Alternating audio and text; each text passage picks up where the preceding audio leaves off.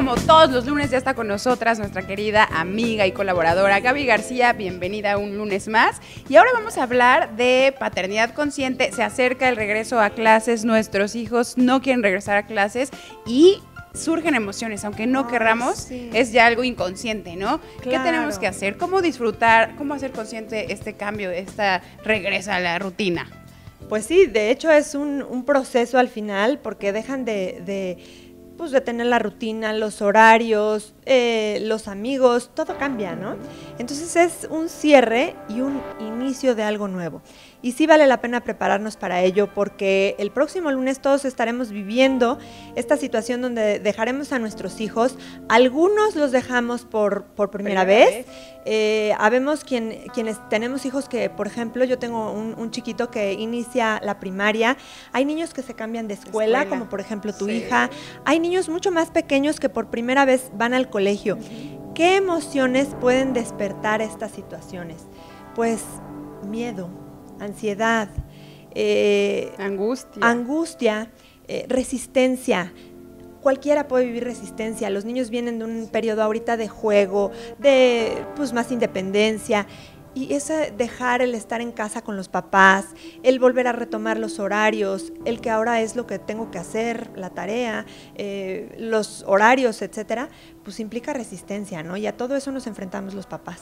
Y como papás, ¿cuál es, eh, ay, pues yo quisiera la receta, ¿verdad? Porque a veces los hijos, nosotros mismos les compartimos esta angustia, esta ansiedad, porque inconscientemente dices, va a entrar a primaria, se va a cambiar de escuela, es algo nuevo, cómo le va a ir los amigos y si le hacen bullying, no sé qué, y entonces ya te hiciste una historia, tú como papá. Entonces, ¿qué hacer para frenar estos pensamientos y hacerlo consciente para darle esta seguridad? Acabas de decir la clave, frenar los pensamientos, el ser consciente de tus pensamientos negativos y alimentar los positivos, cuando tú te das cuenta que estás pensando, y si le va bien, y si le gusta la escuela, y si, a ver, a ver, a ver, tú escogiste esa escuela por una razón, porque definitivamente creíste que eso era lo mejor para ella o para él, lo estás eh, eh, llevando a la mejor alternativa que tú crees, donde va a florecer, donde va a madurar.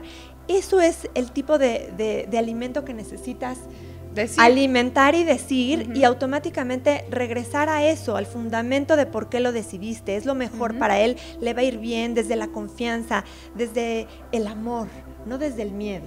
Alimenta esos, esos eh, pensamientos y eso va a generar calma en ti y también en él. Ahora, conductualmente podemos hacer muchas cosas para prepararnos.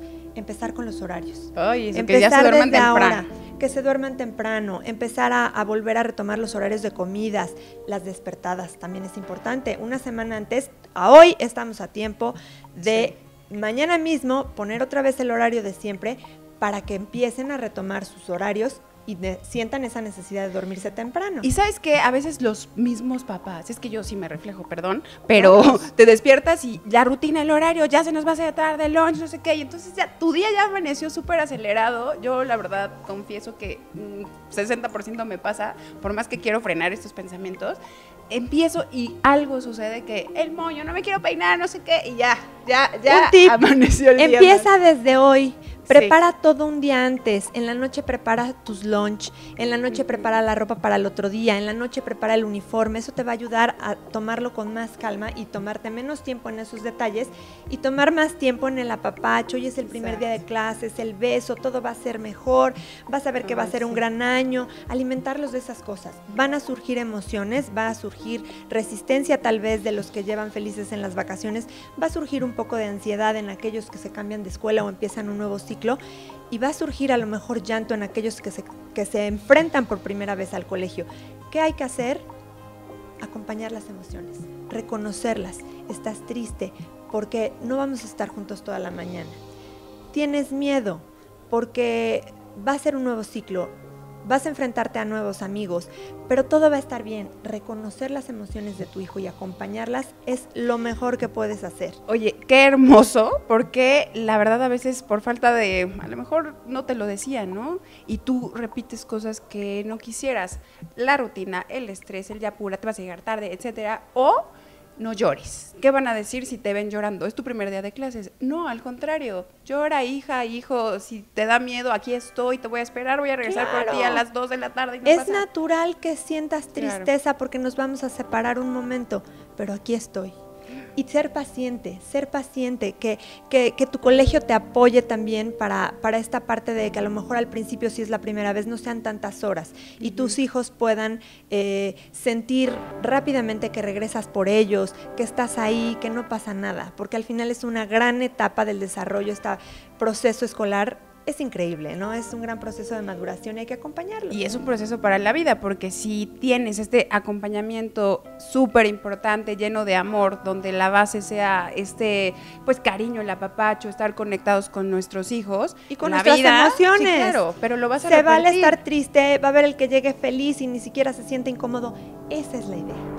Exacto. Esa es la idea. Ay, Gaby, pues muchas gracias. Ojalá en casa lo podamos hacer desde mañana. No esperen al día uno, el penúltimo día antes de regresar a clases donde todo el estrés, el enojo, el caos eh, exista. Mejor hay que prepararnos y el apapacho es muy importante. Nunca se vayan a la escuela o a dormir sin darle un beso a sus hijos, sin decirles te amo, es lo más importante, porque uno está prestado. Y ellos también están prestados, también. Pues gracias, Gaby. Nos vemos el próximo lunes con más temas de salud holística y paternidad consciente. Y continuamos, no se vayan en Ser Consciente.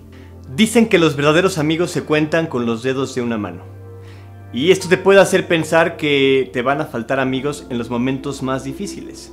Sin embargo, cuando esos momentos difíciles lleguen, te darás cuenta que los dedos de tu mano sobran. Los amigos son pocos. Una cosa es tener compañeros de trabajo, compañeros de estudios, conocidos, vecinos, y otra son los verdaderos amigos. Por eso es importante que los valoremos, que los procuremos, que agradezcamos día a día su presencia y su corazón. Soy Adrián Jiménez y los dejo en su programa Ser Consciente.